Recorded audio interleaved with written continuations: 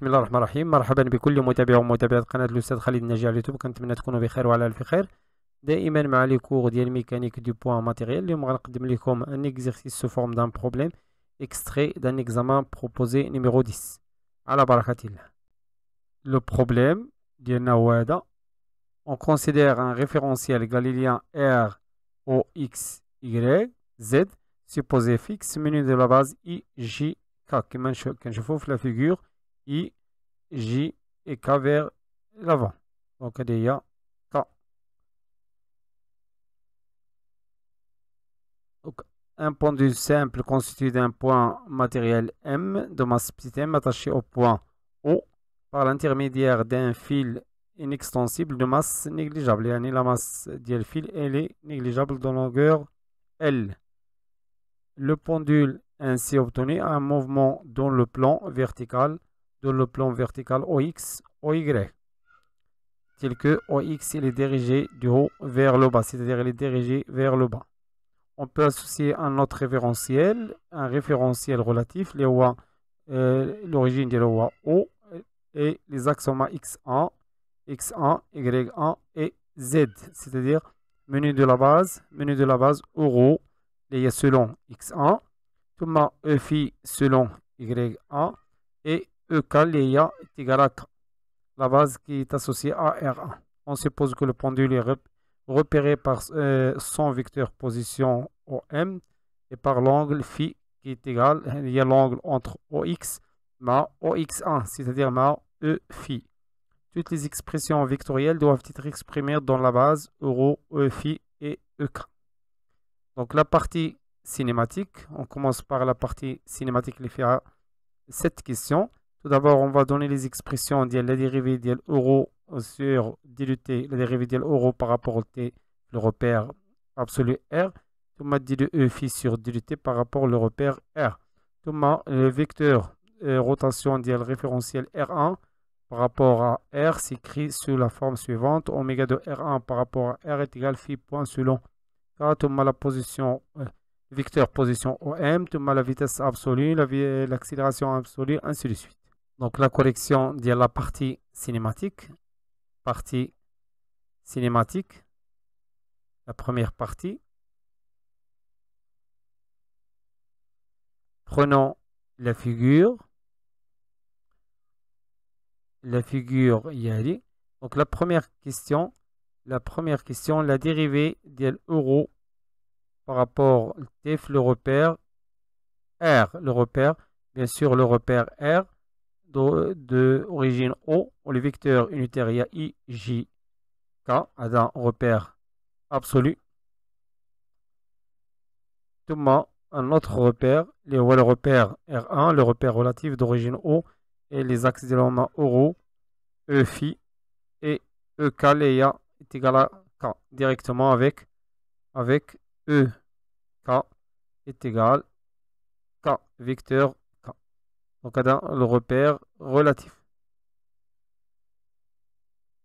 Selon la figure, je peux dessiner le vecteur i perpendiculaire à la j, euro qui forme l'angle, l'angle phi, il euro, les forme l'angle phi avec i, ثم e phi. Donc la dérivée d'l euro sur d de t par rapport à r est égal, donc la dérivée d'L euro par rapport le repère r est égal phi point et selon le vecteur perpendiculaire à la euro, il y a e phi. Donc, dans le sens positif de la dérivée et la dérivée de e phi sur d de t par rapport toujours le même repère r est égal à moins l'énergie de l'autre sens moins phi point E phi. la question suivante. La question suivante. Montrer que le vecteur rotation du référentiel R1 rapport R s'écrit sous la forme suivante. Donc on va déterminer vecteur rotation. Deuxièmement, vecteur rotation oméga d'IL R1 par rapport à R.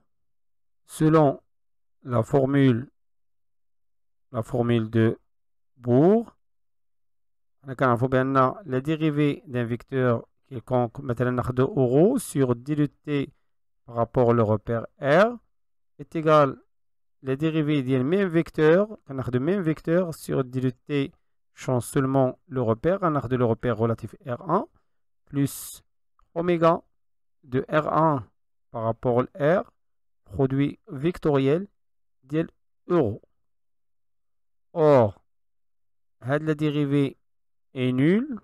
La dérivée est nulle parce que euro est un vecteur de R1, est un vecteur, est un vecteur de, du repère R1. Donc, euro est fixe dans R1. Donc, la dérivée de euro à la déjà la dérivée, la déjà c'est phi point selon E phi qui est égal, on a 0, donc oméga de R1 par rapport à R, produit vectoriel de euro. bien la base euro E phi est une base orthonormée directe. E phi K, c'est-à-dire EK une base orthonormée directe. Donc, la E phi, le produit vectoriel de un vecteur, produit vectoriel de l'euro, c'est un phi, c'est-à-dire il s'agit de euh, K euro. Donc, head oméga fait un vecteur K, produit vectoriel de euro.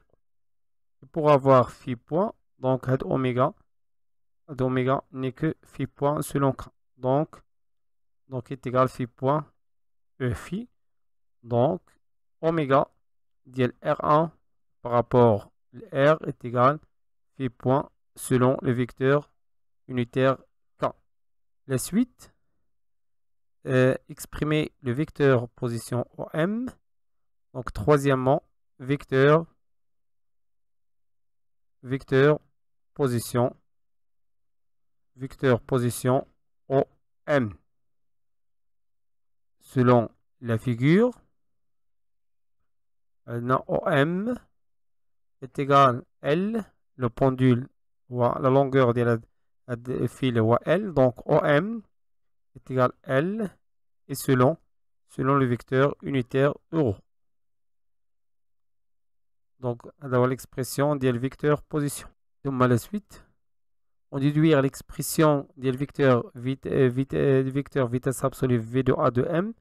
Donc, la question numéro 4. La question numéro 4. V de A M n'est que la dérivée de la vitesse absolue. Absolue. La vitesse absolue est égale à la dérivée du vecteur position sur diluté. La dérivée se fait par rapport au repère absolu R. Donc, je dérive l'expression. On la L. La dérivée de euro, il y a phi point E phi. Allez, il y a V de A de M la question numéro 5. La question numéro 5, on déduire l'expression de l'accélération gamma A de M. Accélération absolue. 5. 5. L'accélération absolue. L'accélération gamma de A M qui est égale la dérivée de V de A M sur d de t par rapport au repère R. Donc, je dérive de l'expression. Je dérive de l'expression, c'est L phi point E phi plus les produits de deux variables par rapport à R, bien sûr, L phi point D de E phi sur D de T. D de E phi sur D de T, déjà, c'est moins, c'est moins, moins phi point euro. Donc, donc l'accélération absolue de m est égale L phi seconde e phi moins L phi point carré euro. Donc finalement, gamma A m est égal, selon la base euro, moins L phi point carré euro plus L phi seconde E phi. a l'expression de l'accélération absolue. M. Thomas, la question suivante. Retrouver VAM en déterminant les expressions de la vitesse, la vitesse relative à la vitesse d'entraînement. Donc, calculons la vitesse relative. Donc, la question, c'est la question numéro 6. La question numéro 6. V relative d'IL M. Donc, prenons une autre fois la figure. La vitesse relative n'est que, par définition, c'est V relatif d'ILM, le repère R1, est égal, est égal D O1M. Yani l'origine de le repère relatif, les voies O. Donc c'est OM sur D de T par rapport à R1. Or, OM, il y a L, euro. Donc, euro est un vecteur de R1, est un vecteur de R1. L est une constante. Donc, la dérivée de euro, c'est 0. Donc, la vitesse relative de M, c'est-à-dire la vitesse de M, le repère R1, est égale à 0. On a bien sûr, O1M, O1M avec Zido O1, elle est confondue avec O. Donc maintenant, la vitesse d'entraînement d'ILM, par définition, c'est la vitesse absolue de l'origine de repère relatif à O1 avec O1 elle est confondue avec O plus oméga d'IL R1 par rapport à R produit vectoriel d'IL O1 M toujours O confondu avec euh, O1 confondu avec O. Donc la vitesse est égale à 0. est égale à 0 parce que la vitesse de O, le repère R1, ou le, repère à le repère absolu R est nul. Il n'y a qu'à dire la, dérivée par rapport, par rapport à R. Donc on a oméga, il y a phi point selon K.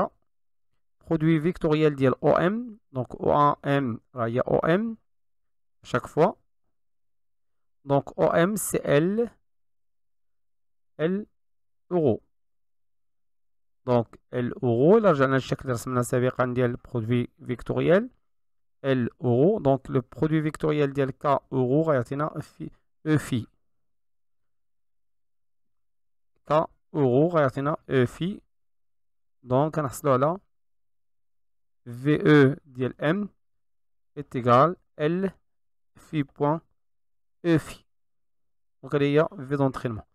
Maintenant, V absolu, la vitesse absolue d'ILM, n'est que la vitesse relative d'ILM plus la vitesse d'entraînement d'ILM.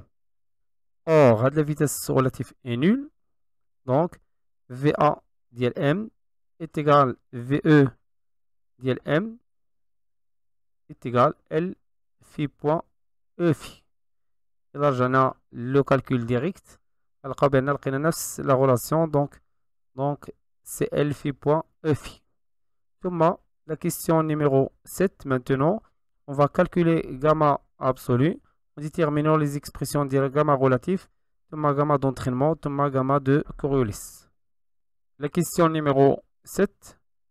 Donc on commence par l'accélération relative dlm, il y a la dérivée d de v relative dlm sur d de t, la dérivée se fait par rapport à R1. Donc v relative, on a déjà calculé v relative à 0. Donc l'accélération relative est nulle. L'accélération d'entraînement dlm, et qu'elle savait par, par définition l'accélération absolue dl O1, O a il y a O plus D de oméga sur D de T par rapport à R produit vectoriel de O1 M a OM toujours plus oméga produit vectoriel de oméga de R1 par rapport à R produit vectoriel produit vectoriel de O1 M donc l'accélération est nulle plus oméga de R1 par rapport à R, il y a phi point selon K. Si je dérive par rapport à R. Donc, on a la phi seconde selon K. Bien sûr, la dérivée d de K sur d de T par rapport à R est nulle. K, c'est un vecteur de R. Plus, euh, un produit vectoriel. O1M, il y a OM, c'est L euro. Plus phi point K. Produit vectoriel d'IL phi point K. Produit vectoriel d'IL OM, il y a L, L euro. Donc, gamma E de M est égal K euro réatena K euro réatena E phi, donc L phi seconde E phi plus phi point K produit vectoriel. K euro réatena E phi, donc L phi point E phi. Thomas, donc gamma donc gamma d'entraînement. Dans notre cas ça L phi seconde E phi et K E phi غنرجعو للشيما اللي رسمنا سابقا هنا عندنا اورو E phi نمشيو في هاد لو سونس لو سونس بوزيتيف ديال برودوي فيكتوريال دونك عندنا K E phi غنمشيو في هاد لو سونس نيجاتيف دونك غيعطينا موان اورو دونك موان موان موان L phi point carré Donc, gamma d'entraînement d'ILM est égal moins L phi point carré euro plus L phi seconde E phi. L'accélération de Coriolis, gamma de Coriolis est égal 2 fois oméga d'IL R1 par rapport à R, produit vectoriel de la vitesse relative de M. Or, la vitesse relative de M est égale à 0. Donc, gamma de Coriolis, gamma de Coriolis M est égal aussi 0. Finalement, l'accélération absolue est égale à l'accélération relative plus l'accélération d'entraînement de M plus l'accélération Coriolis de M. gamma gamma relatif est nul, gamma relatif est nul, gamma de Coriolis est nul, donc on a gamma absolu, M est égal gamma d'entraînement, à l'expression moins L, phi point carré selon euro, selon euro, plus L, c'est un phi, phi de point, phi seconde, E phi. C'est l'expression qu'on a trouvée par calcul direct. كتلاحظوا بان هاد لابارتي سينيماتيك سي سامبل من بعد غندوزو لابارتي ديناميك. وصلنا لنهاية هاد الفيديو. كان معكم الأستاذ خالد الناجي. كنتمنى يكون هادشي واضح وبسيط. وإلى فيديو مقبل إن شاء الله. استودعكم الله. والسلام عليكم ورحمة الله تعالى وبركاته.